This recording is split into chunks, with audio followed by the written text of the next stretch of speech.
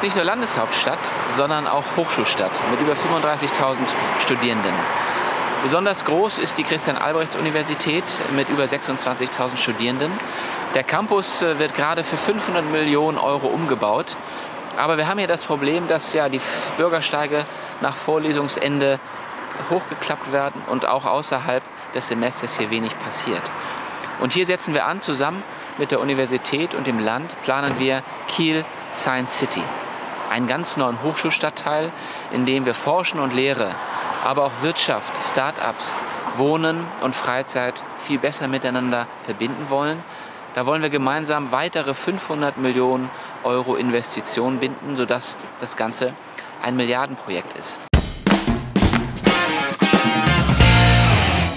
Damit wachsen Stadt und Universität noch weiter zusammen.